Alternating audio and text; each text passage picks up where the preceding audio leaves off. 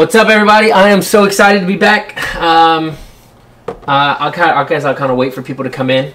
So YouTube, we're on Instagram Live. So if you want to jump on here, uh, learn about this, just see this when it's live. It's Instagram handle at Anchor Veil Photo at Anchor Veil Photo. So um, really excited. So I'm going to start jumping into this. I'm really excited to be back. And man, I know I said I was going to do this more often than I was, but things got a little crazy. But now I'm back. And now I'm going to start diving into the how we shot it again. So um, today we're going to go through um, one of my favorite photos. This one always, so when we first posted it, got a whole lot of um, people liked it a lot. And then we posted it again because they were getting married. Um, people liked it a lot again. So we're going to uh, dive into this shot and how we shot it. Um, this is one of my favorites. So this is the shot right here. Uh, you may have saw this on Instagram. But we're going to dive into and show you guys how we got this shot, how we achieved this because it's something, it's a little bit different. It's not like a normal uh, shooting technique. It's called Brenizer effect. Um, it's a method after a guy named Ryan Brenizer. He lives in New York. He's an incredible photographer.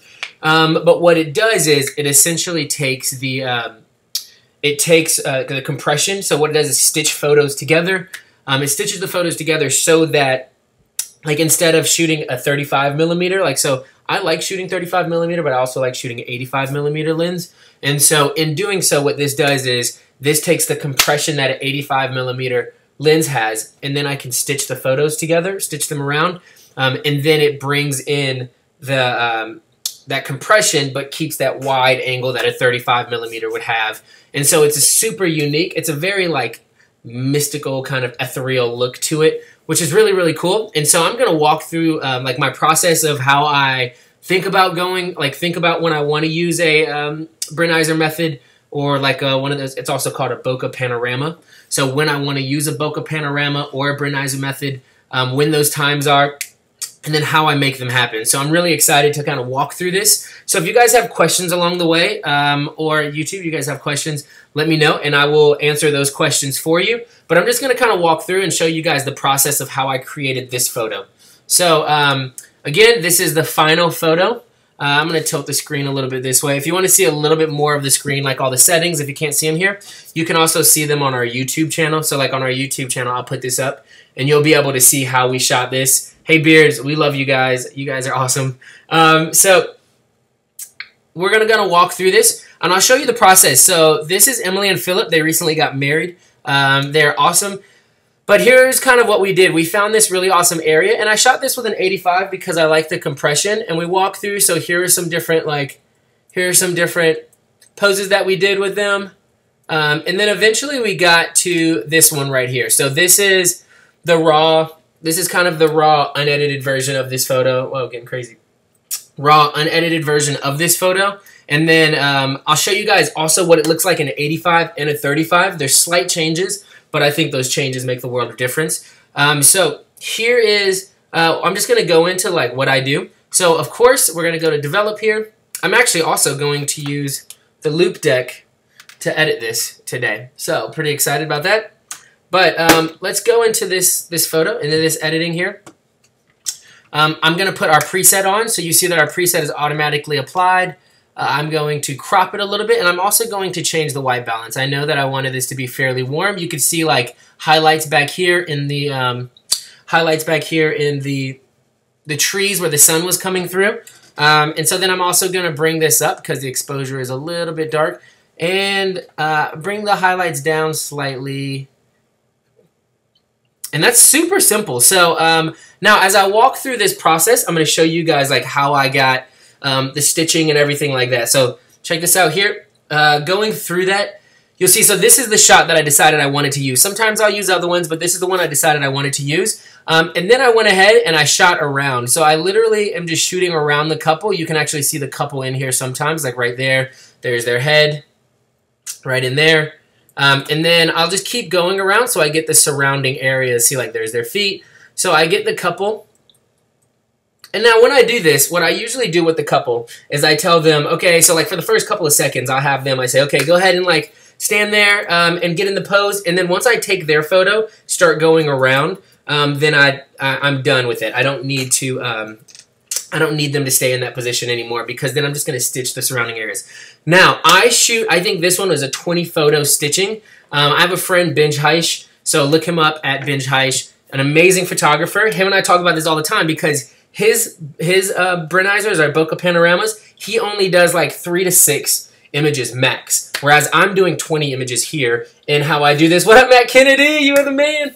Um, so as I'm doing this, I'm actually stitching 20 photos together instead of just um, three to six as Binge does. And so, um, but I like it that way. And what I make sure I do is I stand far enough back. I'm probably about 10 or 15 feet, maybe 20 feet with an 85 especially, because if I shoot and I do this panorama around them and I'm too close to them, then it becomes distorted because um, I'm stitching together a different perspective than what I want. So I want a very like portrait style perspective. So I'll get back. I allow the 85 to get more compression in, and then um, and then it actually is a little more even without distortion because I can stitch around them without having to look down at my camera. My camera just without looking straight down my camera. My camera slightly goes down to get the kind of the context of where they are. So you can see um, you can see as I do that here um, I'm I've got I'm going right around them, right around. So this is up and around. So you can imagine where this is. And now this is going right under them, and then another layer on the outsides and up. Um, and so then that ultimately gets to this photo here.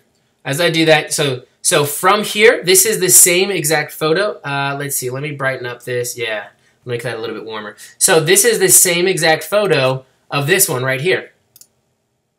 So you can see the pose is exactly the same, except now um, they just look a little bit different. So what I'm going to take here, because I like this lighting and everything, I'm just going to copy this to the rest of the surrounding areas. Um, and so that's going to look something like this. You can see that I've synced up my, um, I've synced up everything. So no longer does it look like it's raw right out of camera. You can see that even the branches and everything are synced. Now from there, from there, I'm going to take that whole lot. And what I'm actually going to do is, now what's great is I haven't used this yet as much, but what's great is in, um, sorry, my cat needs to move. So in uh, Lightroom, you can actually um, panorama them all together, but I use another, another, um, sorry, I use another program that I like, like called Autopano Giga. It's just so easy, it's super intuitive, and it works really well. So I'm going to come here, and I'm actually going to export all of these files, and I'll show you my export I, I don't care. I'm going to show you guys what I use to export, like uh, all of the, the, the, the, whatever, the export settings. So I'll come down here, I have a pano setting. So I create a new folder here, um, and I keep the quality at 100. Um, I, I just sharpen for the screen slightly. I don't change anything else. It's at 100, 300 DPI. Um, really similar, really easy, nothing crazy going on in here. Uh, and so then I export that, and so I kind of sped up the process so you guys don't have to wait for that whole export. Um, so I export that, and so then what's going to end up happening is I'm going to take, I'm going to open up Autopano Giga like this. It's going to look like this right here. And what Autopano Giga is going to do is I'm going to drag the folder. I have the folder here created. I'm going to drag the folder, and Autopano Giga is going to actually pick up on all of that. It's going to detect it. So when I put detect, it's going to detect and it's actually going to stitch that together, which is really, really awesome.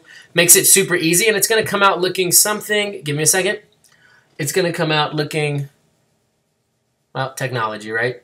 Okay, it's going to come out looking like this. So it's gone ahead and it's stitched it for me. And from there, I usually crop. Um, so this is the crop that I want right here. And then as I do that, then I render it. Now, the rendering usually takes a while, but I've gone ahead and done that already for you guys. So here's the rendered file.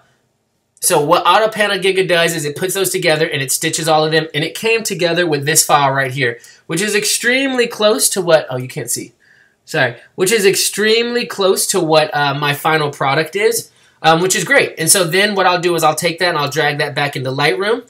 Um, and so what I've done a little bit is uh, I've just come in and I've cropped off the edges. Let me see if you can see it. Yeah, you can see right here. I've cropped the edges. Oh, guys. There it goes.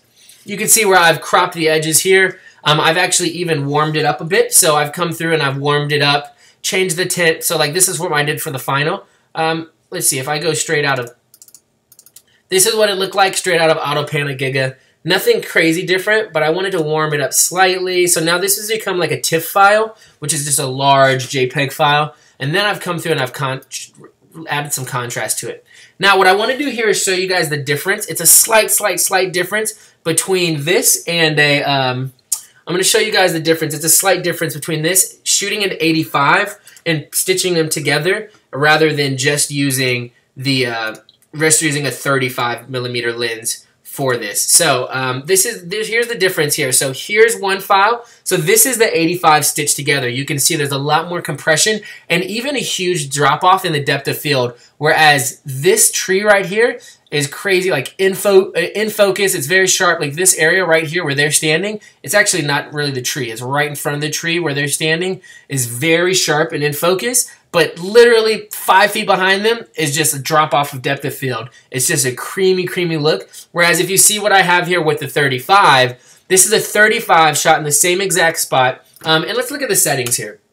I did shoot this one with, um, so if I come here, let's change. Okay, so settings here, you can see that I shot this at 1 250th of a second. So 1 250th of a second, 1.8, 1250 ISO with an 85. Whereas this one's a little bit wider, um, a little bit um, shallow, or not shallow, a little bit more, not as wide, I guess, because it's got, um, because the dog, I want to get the dog in focus. So this is 2.8 um, with 35, but you can see that there's not nearly as much compression. So from here, the trees are brought in a bit. I mean, there's a super creamy depth of field fall off in this area right in here. But then also with this, with the 35, you can see, so that's the sound it makes when it's done rendering.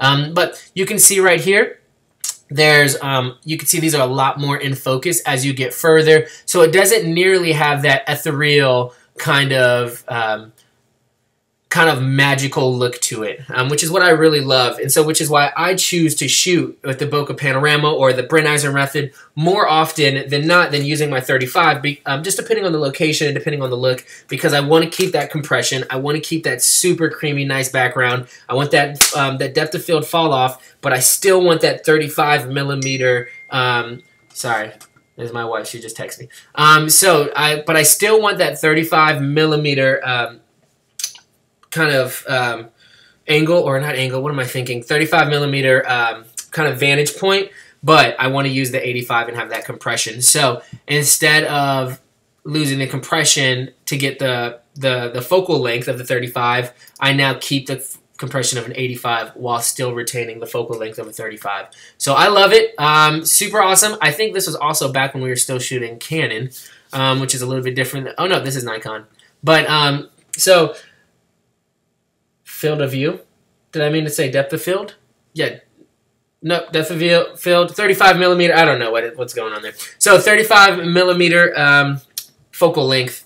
Um, and uh, so it's just a little bit different. So I like shooting this 85 and using the Bokeh Panorama because I think it, provi- it provides a really different look for your clients. I think it's really quality. It looks really awesome. And um, it's something different not a lot of people are doing and not a lot of people know how to do, where I just walked you guys through it. And so I hope that was helpful. I walked you guys through a lot of things. Um, if you have any questions with any of that, uh, you can message us on Instagram or you can YouTube, like just go to this, because this is going to be on YouTube tonight probably. So you can go onto the YouTube page, comment, um, leave a comment, let us know like uh, any other questions that you guys might have. You can like the picture, please. Go ahead and like the YouTube um, video and subscribe. So hopefully this was uh, helpful. Shows you guys how to walk through a bokeh panorama or a Brenizer method, shooting a little bit differently, getting that uh, depth of field that you want with a different focal length. So hope this was helpful. Looking forward to hearing some of your comments and some of your suggestions or questions. So uh, from here, I guess we'll see you guys over on YouTube.